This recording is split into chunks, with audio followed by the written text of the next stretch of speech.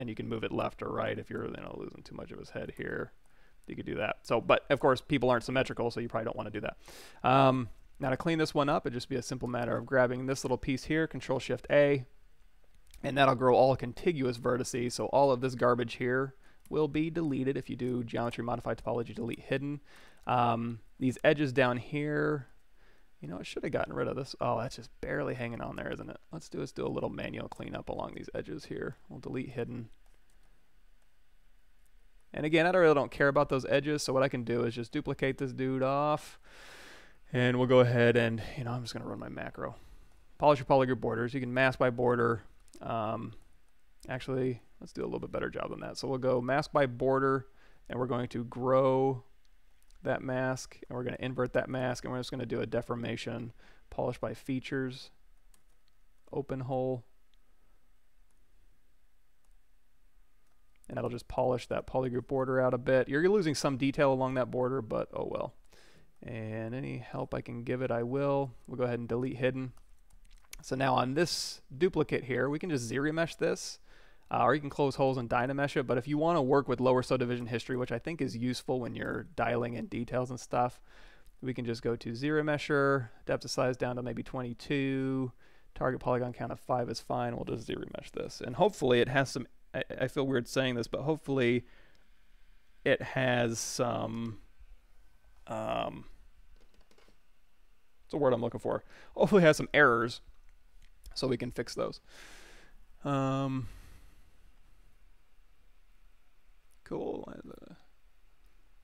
A wire had to be used to hold the clay on the base. Good to know. Yeah, yeah. So yeah, the the thing on his back was yeah. So when you have an armature, um, it'll be like a post and a little arm will come out, and that goes into like usually the lower back or the middle of your mesh, and then you have a wire armature that you can twist off and stuff. So that's where that little pokey thing was. So now we have our ZRemesh here. And now it's just a matter of if you if we did want to close holes, let's make sure we're just getting contiguous meshes here. Cool. Uh, we'll just do a quick close hole operation. And if you want to, we can do, let's do control shift and that'll put in another edge ring. And then we will E scale this in a little bit. Give us a little bit of breathing room here. Let's do E, which is scale, and I'm going to do control shift. That'll give us our edge ring. That's what I'm looking for. And now we can use move to kind of bring this in a little bit, and then we can kind of pull this down a bit.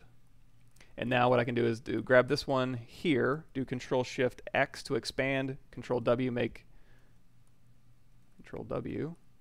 Oh, Control W make that all one polygroup. So now all my clean mesh that I want to project to is here, and all this I don't really care about. So now what I can do, go out of solo mode.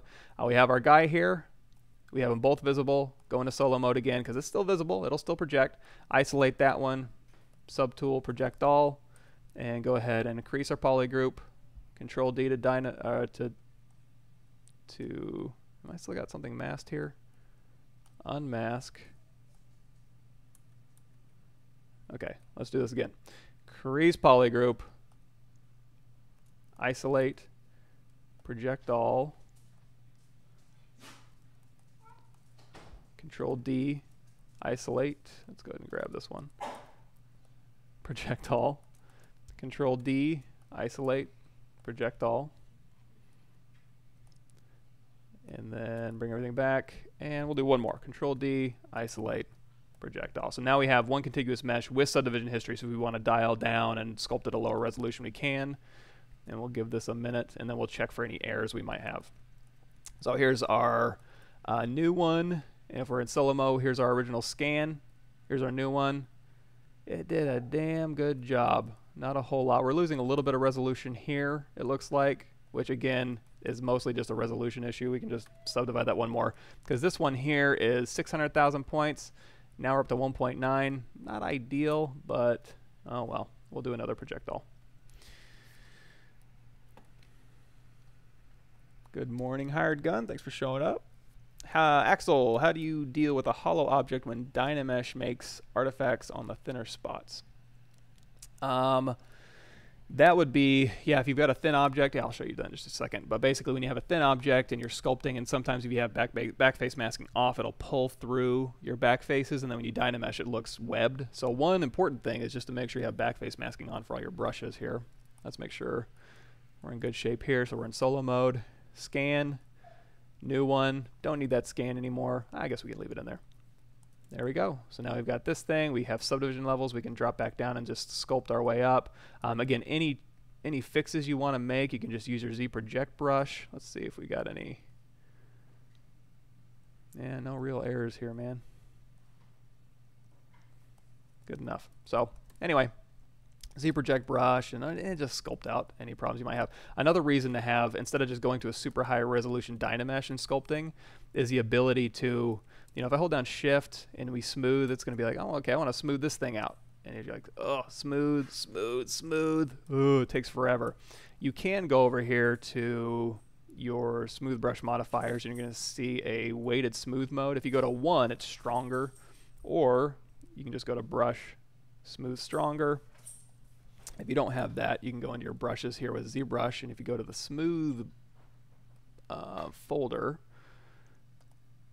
You've got uh, smooth, all sorts of different smooths in here, and all those, all these different smooth brushes are just basically smooth modifiers being adjusted here.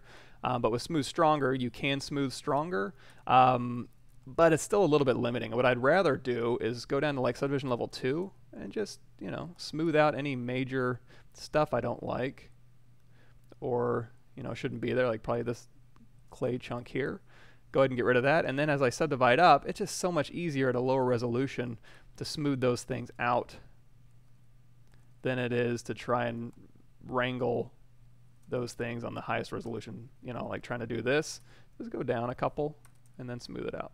Much easier. And then you go back up, super easy to just kind of clean that up. So, as far as the thin meshes we were talking about, if we have, for example, Cube 3D, make it a polymesh,